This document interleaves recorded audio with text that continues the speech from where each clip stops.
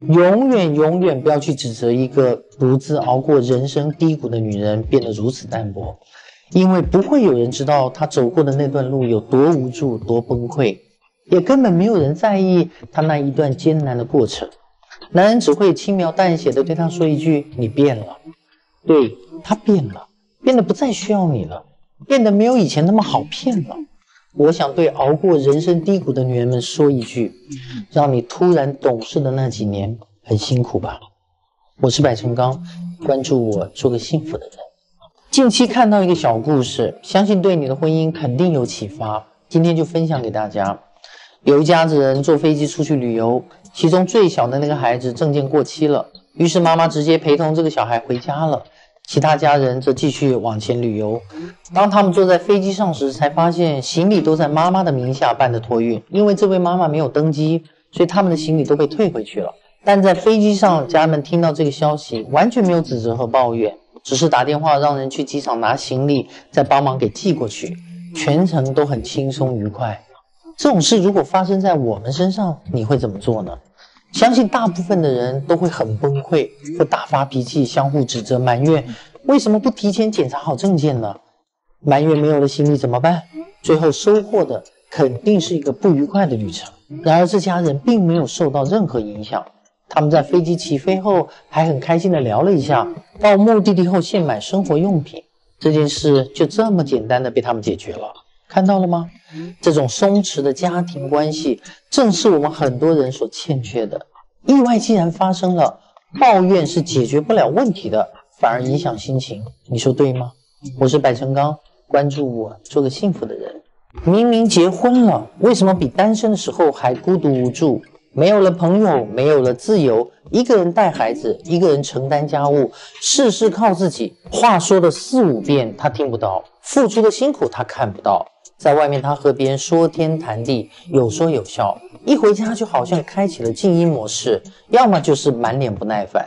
最重要的是，你还不能像单身女人一样潇洒的离去，这样的女人才最孤独。我是百成刚，关注我，做个幸福的人。有一种女人，表面上看着大大咧咧的、乐观开朗、满面笑容，那是因为微笑只是她的铠甲，是她的保护色。其实她特别爱哭，有时候很小的一件事就忍不住的想流泪。这种女人心地善良，总是为别人考虑，把他人的感受放在第一位，常常忽略自己。内心细腻又敏感，很在意别人的看法，总渴望有个人能够看穿她的故作坚强，能够懂她爱她，却往往输得一塌糊涂。总是在外人面前表现得很开心，没心没肺的样子。其实他只是习惯性的用微笑来掩饰自己，他知道能够依靠的只有自己。我是百成刚，关注我，做个幸福的人。千万不要相信和谁结婚都一样的这种鬼话。好的爱人可以减少一半的人间疾苦。李静从小生活在一个爸爸妈妈经常吵架的家庭，每次爸爸和妈妈吵完后都会摔东西，他只会蜷缩在门后偷偷看看，不敢吭声。慢慢的，她也养成了喜欢砸东西宣泄自己的情绪的习惯。她不想谈恋爱，不愿意结婚，直到遇到她现在的丈夫。他会在她控制不住情绪摔东西后，温柔的给她一个拥抱，说没关系；会在她自卑不知道怎么办的时候，帮她缓解尴尬；会在她努力上进被同事说装腔作势的时候，告诉她不必在意不重要人的看法，肯定她，认可她，鼓励她。会把他所有羞于启齿的敏感都看破，给他充足的安全感，把他宠成了一个孩子，让他感受到自己原来是被爱着的。和他在一起八年了，他发现他再也不摔东西了，也不会情绪失控，他变得乐观开朗，开始敢于表达自己的想法。有句话说得好，你需要的伴侣最好是能够与你并肩而立在船头，浅吟低唱两岸风光。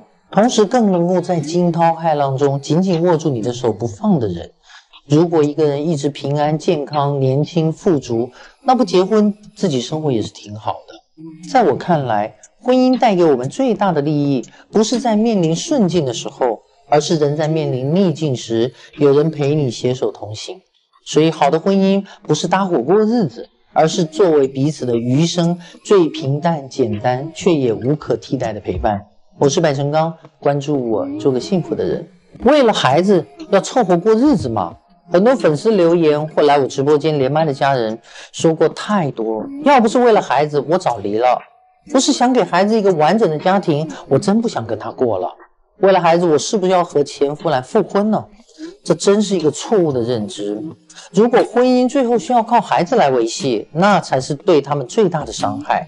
你自己都不好好活，你对你的孩子说你要好好活，要幸福，要快乐，结果妈妈很痛苦，孩子怎么可能幸福？你觉得一个没有爱的家庭，没有温度的家庭，孩子愿意要吗？你觉得只要你们还在一个家里生活，就是为了孩子好吗？你们抱怨、指责、无休止的争吵、冷战，甚至像仇人一样，这是一个为孩子好的家吗？孩子远比你想象的要了解父母，他们能够感受到。不要打着为孩子好的名义做着伤害孩子的事。我不否定一个伟大的母亲愿意为孩子选择牺牲、妥协的这种决心，但我并不鼓励这种委曲求全的做法。幸福的童年可以治愈一生。但不幸的童年需要一生去治愈，这个道理相信大家都懂吧？你们要做的是花时间去学习如何经营婚姻，改变这个现状，让孩子在充满爱的环境下成长，那才是真的为孩子好。我是百成刚，关注我，做个幸福的人。如果一个女人动不动就发怒，情绪都被别人牵着走，别人随口说的话你就往心里去，被影响的焦虑不已。甚至吃不好睡不安，你要明白，能左右你情绪的，往往都是因为自己太在意了；能够折磨伤害你的，都是因为你太在乎了。切记，不要和重要的人去计较不重要的事儿，更不要和不重要的人去计较重要的事儿。简单的事儿想深了就复杂了，复杂的事儿看淡了就简单了。我是百成刚，关注我，做个幸福的人。大多数的婆婆都有个通病。一边担心儿媳妇花儿子的钱，怪儿媳妇天天挥霍浪费；一边又操心女婿不给女儿花钱，怕女儿受委屈；一边不给儿媳妇看孩子，一边又替女儿抱怨她的婆婆不知道给女儿帮忙。当初儿媳妇要彩礼买房子，认为占了他们家大便宜；嫁女儿的时候呢，那三金彩礼一分都不能少，觉得女儿天天不干家务活，在家歇着就是嫁得好，儿媳妇不干活就是好吃懒做。就拿做饭来说，儿媳没有进门的时候，婆婆做饭就心甘情愿；一进门就埋怨到她天天伺候一家人，好像儿媳没进来的时候，他们一家人不吃饭似的。遇到通情达理的媳妇儿，是不是以为婆家会好好珍惜啊？事实恰恰相反，那些很多厉害的儿媳妇儿反而过得很好。人因不息而散，心因不暖而凉。我是百成刚，关注我，做个幸福的人。俗话说，女人不狠，地位不稳。很多人不明白，为什么狠心的女人容易得到更多？其实这都是有迹可循的。那些不幸福的女人身上都有一个共同特点，就是容易心软，遇事总是犹豫不决。反观那些越是狠心的女人，越能够得到幸福。首先，心狠的女人会对自己狠，别人起不来早床，她能够起来；别人跑不了的步，她能跑。有人说自己没时间抱怨这个做不了、那个做不成的时候，她在挤时间学习，最后的结果只能是她比别人更优秀。其次，心狠的女人对感情也狠，这种女人一旦确定对方不爱自己，她就会立刻停止所有的感情投入。她们从来不会去卑微的爱一个人，什么无底线的搭讪啊、舔狗啊、不停祈求对方原谅啊，压根就不会发生在她们身上。这并不是他们有多自傲，更多的是一种自我保护，不让自己受到伤害。你说能给自己安全感、对自己狠、对感情狠、不轻易为情所困的人，他能不幸福吗？我是百成刚，关注我，做个幸福的人。女人一定要让自己的外形和同龄人拉开巨大的差距，比同龄人会穿，比同龄人会打扮，比同龄人有品味。总之。看起来要比同龄人年轻，你可以找借口说：“我哪有时间注重这些？家务谁来做？孩子谁来看？”你也可以说：“我有内在美，外在美不美无关要紧。”但我要说的是，没有美丽的外表，根本没有人会在意你美好的内心，这就是现实。先敬罗衣，后敬人。你若盛开，清风徐来。我是百成刚，关注我，做个幸福的人。没有女人生来就爱发脾气，大多是积攒了太多的委屈和心酸。满身是刺的女人，身后一定有一个不负责任的男人；脾气暴躁的女人，身后一定有一个不体贴的男人；说话不留情面、嘴上不饶人的女人，身后一定有一个不争气的男人。妻子就是一面镜子，男人给她什么，她就回报什么样子。